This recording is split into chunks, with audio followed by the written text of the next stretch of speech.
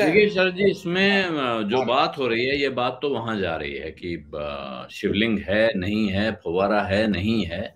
मुझे लगता है ये मामला हमको अदालत के लिए छोड़ देना चाहिए। हाँ। ये कहानी तो वहाँ तय होगी और ये सभी को छोड़ देना चाहिए। अब हुआ क्या है एक को एडवोकेट कमिश्नर हटा दिए गए। क्यों? क्योंकि उनके ऊपर इल्ज़ाम जो सुपरवाइजिंग एडवोकेट कमिश्नर हैं उन्होंने कहा दोनों मेरा सहयोग नहीं कर रहे हैं। जो दो एडवोकेट कमिश्नर साथ में थे उन दोनों के ऊपर उन्होंने इल्ज़ाम लगाया कि ये सहयोग नहीं कर रहे हैं। फिर इन पे सहयोग ये लगा आरोप कि इन्होंने सूचनाएँ लीक कर दी। अब ताज़ा खबर क्या आ रही है? ताज़ा खबर ये आ रही है कि उनका जो फोटोग्राफर था जिसको वो लेके गए थे अब आदमी हर आदमी अपना कैमरा लेकर जाएगा नहीं। न किसी एडवोकेट को जिसे कमिश्नर बनाया जाता है उसके पास कोई परमानेंट कैमरामैन या फोटोग्राफर होता है कि जब ज़रूरत पड़ेगी तुम मेरे साथ चलोगे इसके लिए मैं तुम्हें तनख्वाह दूँगा। तो मार्केट में ढूंढते हैं। उन्होंने एक आदमी ढूंढा, उनको मिल गया। अब पता चला वही आदमी एक चैनल के लिए भी काम करता है और उसने वो फुटेज वहाँ लीक कर दी। उसने मार्केट में वो फुटेज लीक कर दी, जो फुटेज सीधे सुप्रीम कोर्ट में सबमिट ये माफ़ कीजिएगा वाराणसी की जिला कोर्ट में सबमिट होनी इस पे उनके खिलाफ कार्रवाई हो गई।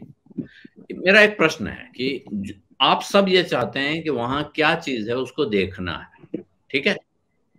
अगर अदालत ये आदेश या तो अदालत इसको सुनिश्चित कराती कि भाई पुलिस जाएगी, इन सबको घेरे में लेगी, इनके पास मोबाइल फ़ोन नहीं रहेंगे, इनमें से कोई किसी से संपर्क नहीं कर पाएगा। जो फुटेज वगैरह कैप्चर की जाएगी, उसका जो हार्ड ड्राइव है और जो उसके कैमरे हैं, ये पुलिस के प्रोटेक्शन में रहेंगे, मालखाने में जमा होंगे, सीधे अदालत में खोले जाएँगे। और इन लोगों पे पाबंदी होगी कि आप किसी से बात नहीं करेंगे। अगर इनमें से कोई भी, जो लोग अंदर गए हैं, इनमें से कोई किसी से बात करता है तो उसको सजा दी जाएगी। ये व्यवस्था अदालत ने नहीं की। क्यों नहीं की? इसका जवाब जज साहब दे सकते हैं। जो लोग गए, इनमें से दो तो पक्ष हैं, देखिए साफ़ साफ़ उन पक्षों का धर्म है तो अपनी अपनी लड़ाई लड़ रहे हैं। वो अगर उन्हें मौका मिल गया है, अदालत ने उनका मुँह बंद नहीं किया था तो वो अपने अपनी हवा बांधेंगे।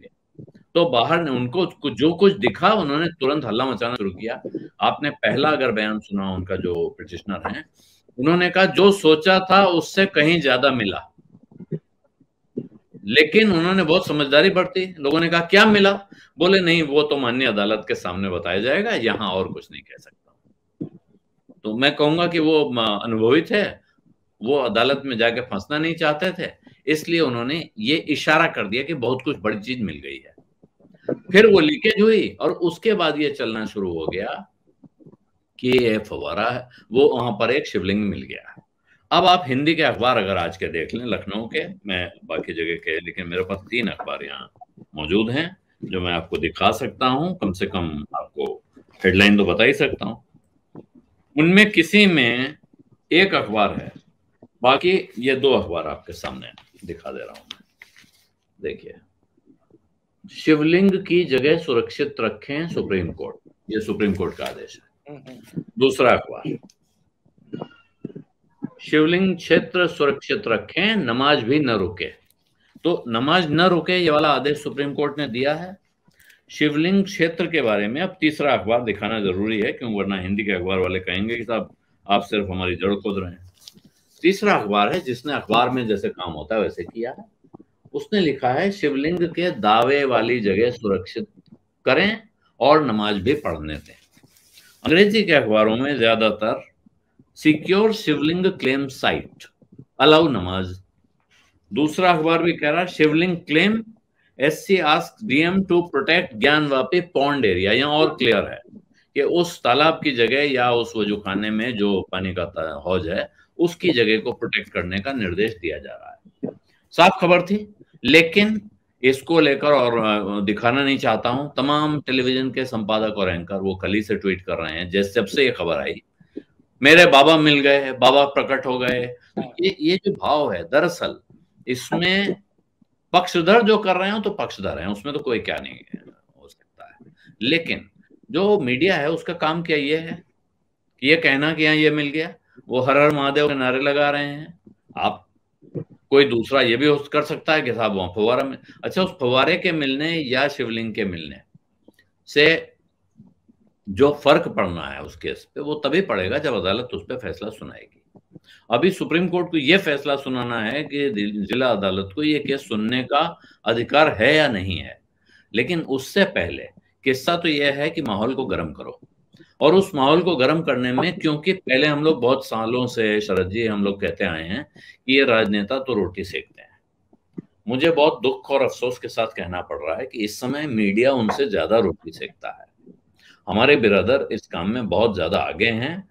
वो रोटी सेकने में सबसे आगे हैं और उनको लग रहा है कि आज सबसे गर्म आग कहाँ है, वहीं चल के रोटी सेकी जाए। इसीलिए इस देश में तमाम चीज़ें हो रही हैं। आज ही खबर आई है कि 2.4 मिलियन लोग 24 लाख लोग प्रदूषण से मर गए इस देश में। लैंडसेट की रिपोर्ट आई है।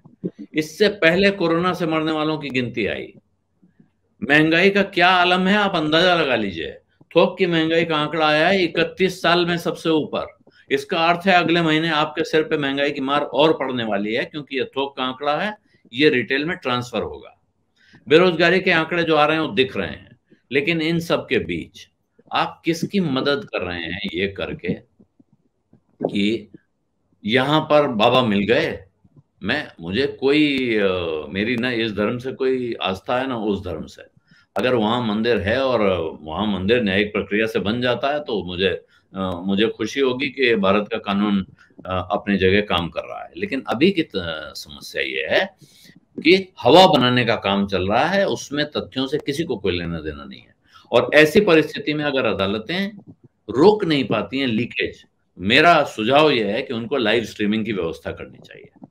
उनको कहना चाहिए कि भाई एक टेंडर उठाइए कि कौन सा चैनल ये व्यवस्था करेगा कि यहाँ से फ़ीड निकाले कि जो कुछ दिखाया जा रहा है, आप साथ के साथ लाइव दिखा दीजिए। ताकि सबको दिख जाए, भाई पूरी धरती पूरी जनता को दिख जाए। ये भ्रम जिसके मन में आप, जिसको जैसी प्रतिमा उसमें दिख रही होगी, वो देख लेगा। या फिर इस पर सख्त पाबंदी लगाए कि मीडिया इस पर रिपोर्टिंग नहीं करेगा, जब तक हम इस पर कोई फैसला नहीं सुनाते हैं। हमने इस जगह की जाँच के आदेश दिए हैं, ये रिपोर्ट हमारे पास आनी है, ये हमारा प्रेरोगेटिव है कि पहले रिपोर्ट अदालत को मिले, अदालत उस पर विचार करे और उसके बाद उस पर जो फैसला सुनाए, उस पर आगे कार्रवाई की जाए। बजाय इसके कि आप अपने अपने फैसले लेके अपने अपने ढोल पीटना शुरू कर दें और उससे जो देश में माहौल खराब हो रहा है, उसका हिसाब कौन करेगा? ये जो इलाहाबाद के जिला जज साहब हैं जो जज साहब हैं, जिन्होंने इस मामले को सुना है, उनसे ये प्रश्न होना चाहिए कि ये, और मुझे लगता है, मैं उम्मीद करता हूँ कि कोई ना कोई न्यायिक प्रणाली में जो उनसे सवाल पूछने वाले लोग हैं, वो पूछेंगे कि आपने ये ये सारा कांड किस आधार पर क्यों किया? वो महिलाएँ जो थी, जिनके बारे में आपको अजय जी अभी कुछ देर और जानकारी दे सकते हैं, उन्होंने क्या मांग की थी? उन्होंने मांग की थी कि हम श्रृंगार गौरी की रोज पूजा की मांग करते हैं। श्रृंगार गौरी की रोज पूजा हो सकती है या नहीं? ये तय करने के लिए आपको उस मस्जिद के या उस मंदिर के या उस प्रेमाइसेस की खुदाई करने की और वहाँ वीडियोग्राफी करने की आवश्यकता क्यों थी? और अगर थी तो जज साहब खुद क्यों नहीं चले गए? कहा, चलिए मैं चल के देखता हूँ, वही फैसला कर दूँगा। आपने पुराने बहुत मौकों पे याद होगा आपको कि तमाम मामलों में जज साहब या उनके दिए हुए टीम एक एमिकस क्योरे नाम की व्यवस्था होती है। शास्त्र में जिनको न्याय मित्र कहा जाता है कि अदालत की मदद करते हैं ऐसे मुकदमों में। आपने एमिकस क्योरे क्यों नहीं अपॉइंट किया कि जाइए आप हमारी मदद कीजिए हमारी तरफ़ से सब करके आइए। और उसमें एक भी होते हैं कई बार पाँच भी होते हैं। दोनों तरफ़ के पक्षकार जाएँगे दोनों तरफ़ के वकील जाएँगे एक पूरा हुजूम जाएगा उसके बाद कहेंगे साहब इसमें से लीक ना होने पाए। और लीक ना होने की कोई वाटर टाइट व्यवस्था आप करेंगे नहीं। तो फिर तो ये तमाशा होना है। और इस तमाशे में जैसा मैंने आपको कहा, इसमें जिस, जिसको रोटी सेकने का मौका मिल रहा है, सब सेक रहे हैं। अभी मुस्लिम पर्सनल लॉ बोर्ड भी आज जाग उठा है। उन्होंने कहा है, साहब, इस मामले में जो पक्ष है, उनको जो मदद चाहिए होगी, कानूनी, वो सब हम प्रोवाइड कराएँगे। अरे, मदद क्या, बड़ा वकील आ जाने से क्या फैक्ट बदल जाते हैं? या पैसा ज़्यादा खर्चा होने से फैक्ट बदल जाते हैं? जो मुकदमा लड़ रहा है, अगर उसके पास फैक्ट्स हैं अपने, अगर उस ज़मीन पे जो तथ्य सामने मौजूद उनके साथ मुकदमा लड़ा जाएगा। जो वकील लड़ रहा होगा, लड़ लेगा। सत्य हिंदी का ऐप डाउनलोड करें गूगल प्ले स्टोर पर।